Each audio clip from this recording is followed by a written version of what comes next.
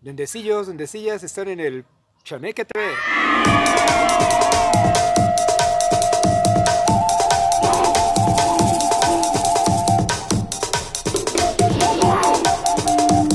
Nielsen, hola, no toca Duende Balché, mi nombre es Duende Balché. Kuali Yowali ya se está haciendo de noche el día de ahora, por eso saludo nocturnamente. Seguramente a la hora que lo Pues vean. no será, o sí será a la misma hora, eso depende de la tecnología. Hay dos versiones de cómo se está dando este resurgimiento de nuestra cultura ancestral. Por un lado es la parte científica, técnica o académica, desde más o menos un siglo. Acordémonos desde Porfirio Díaz, ¿no? Que fue el que como que rescató Teotihuacán. bueno, todos los descubrimientos que se vinieron dando y poco a poco ahí indagando de qué se trataba. Y otra versión de cómo de repente la gente no crean que mágicamente empezó a ir a, las pirámides, llamadas pirámides de Teotihuacán, o que de repente cualquier plaza pública se puede desahumar. Eso no se daba antes, hace más de 50 años todavía estaba, si no prohibido, por lo menos desconocido. En los mejores de los casos, por más de 400 años sí fue prohibido, satanizado, perseguido. Desafortunadamente mucha, mucha, mucha gente quedó en el camino por tener estas prácticas ancestrales. Y bueno, pues ahora podemos hablar libremente de una saumación, de ir a los temazcales, saludar a los rumbos en nuestra lengua originaria. Antes, híjole, se veía como mal. Quédense, quédense, va a estar muy interesante. Muy bien, en la sección de hoy, de la Moshli de ahora, les tengo una recomendación muy especial. Les voy a decir de quién es este libro. ¿Es mío? El autor del libro es ni más ni menos que Antonio Velasco Piña. Estamos grabando en el 2019, todavía está presente en cuerpo, mente y espíritu. Este autor es muy conocido en lo que le llaman como las formas, la tradición. Estudió Derecho, fue de las primeras generaciones, si no es que la primera, de la UNAM. Ejerció, estuvo pues más en esta área administrativa y después pues bueno, lo conocemos ya como historiador, como escritor también, novelista e impulsor de nuestra cultura ancestral y por supuesto investigador. Hay libros que están en polémica. Por ejemplo, el libro de La mujer dormida debe dar a luz.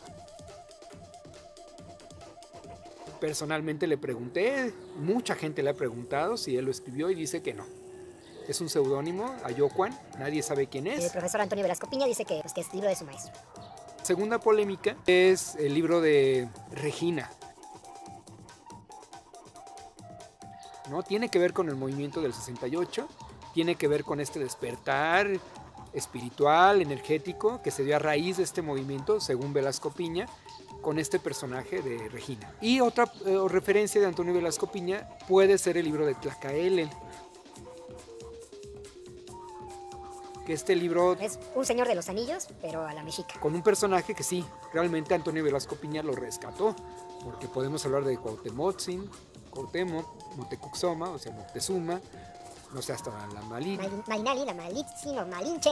todos los nombres que hay, personajes distinguidos, digamos, de nuestra cultura ancestral, la última, la mexica, porque hay una cola de 8000 años atrás, con muchísimos más personajes, pero bueno, Antonio Velasco Piña también impulsó a, a Tlacaelen. Pero hoy no vamos a hablar de estos libros, ya habrá oportunidad. Me parece más importante dar a conocer la información de este libro. El libro se llama Cartas Elizabeth. Ay, tan, tan, tan, te los enseño, chicos, de cerquita. ¿Por qué para este Amoshli escogí este libro? Porque las cosas no se dan de la noche a la mañana. Los fenómenos culturales, de alguna forma, mm, algunos sí son planeados y otros se van desarrollando. Entonces Antonio Velasco Piña es un impulsor de nuestra cultura ancestral, Algunos no les gusta porque dicen que pues, está muy New Age, su onda. precisamente porque comenzó a escribir, en, bueno, ha escrito muchos años de su vida, pero eh, los primeros libros pues, se dieron a conocer a finales de los 90. 20 años pasaron del movimiento del 68 para que Antonio Velasco Piña diera a conocer esta información de Regina. Pero yo creo que si a alguien le interesa investigar, conocer, saber o nada más ahí husmear, ¿Cómo comenzó esto de ir a las pirámides, por ejemplo? ¿O quiénes fueron los primeros grupos de mexicanidad? O bueno, todavía inclusive los herederos de la danza de tradición que conocemos como concheros. Aquí vienen en este libro. Son unas cartas que le escribe a su sobrina. La sobrina se va a estudiar al extranjero y el libro comienza en 1988, sus primeras cartas. Un par de años que la sobrina de Antonio Velasco Piña, que se llama Elizabeth por su... Ah, ya se me caló un poquito el libro. Le vamos a poner ahí pegamento, son los accidentes que, que ocurren cuando estos amoshlis... Pues miren, está autografiado por el señor Antonio Velasco Piña. bueno, sirvió para enseñar el autógrafo, ya que se me despegó, pues ya, ya ni modo. Pues bueno, comienza el, el 24 de septiembre de 1988. Está interesantísimo porque comienza precisamente con la organización de la, digamos, como primeras manifestaciones espirituales en el 2 de octubre, ¿no? En 1988, cómo va la preparación para los festejos del 2 de octubre de ese año, pero pues con las personas que están involucradas más con el movimiento que inició Regina, eh, según palabras de Antonio Velasco Piña. También, como les comentaba, viene la primera vez que salió una saumación en la televisión, cuando vino el Papa Juan Pablo II, y que grupos de tradición lo recibieron y estaban ahí con el saumador y como salió en la tele, digo, estoy hablando de los ochentas, ¿no? A partir de ahí ya no se satanizó el que la gente saumara públicamente. Viene, por ejemplo, la historia del señor Faustino, que es el guardián de estos volcanes donde estamos, bueno, era, y de la tradición también de la danza. Y viene un pueblito muy cerca de aquí, que se llama Tepetlixpa. Entonces, pues bien, viene esta, esta historia de cuando el señor Faustino también los acompañó este 2 de octubre de 1988. La primera vez que fueron a las pirámides, entre comillas, de, de allá del sureste, Chichen Itza. También la, el contacto que hubo con el señor Argüelles, que fue el que diseñó lo que ahora se le conoce con el, como el Hunab Cup. Que tiene otros nombres y que, bueno. Vienen muchas, muchas experiencias y todo es, un, es crónica, son cartas que le escribe a su sobrina para contarle cómo van avanzando, ¿no? Todos estos hechos que marcaron pues ahora la tradición. También viene cómo conocer a las personas que están en Huehuecoyotl, ahora se llama, que están allá por, por el Teposteco, que es la primera comunidad autogestionada, autosustentable, eh, ambientalista. Ecologista. Y pues bueno, termina el libro cuando...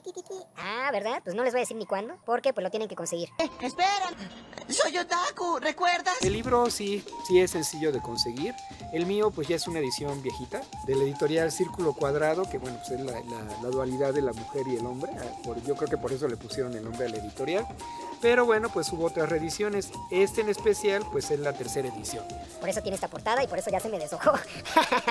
lo voy a tener que reparar, pero no importa. Preferible eso a que pues, vengan otros y los quemen, ¿no creen? pues me da muchísimo gusto compartirles este Amoshri. Ya está oscureciendo, estamos en el bosque. Todos estos ruidos que escuchan no son falsos, son ruidos de aquí del bosque. Plazo Kamati, por sus rostros y corazones. Próximamente vamos a exponer mucho más libros. Recomienden, pongan sus arañitas ahí. Trabajar. Y en ese Mictlan, en ese inframundo que tenemos digital, ahí escríbanos sus recomendaciones. No, no tenemos una tecocoli, un caracol ahí uh, en, en, YouTube. Pero pues tenemos una campanita que si ustedes la activan, pueden escuchar cuando nosotros volvemos a subir un video. Lo estamos haciendo lo más seguido posible, aproximadamente dos por semana.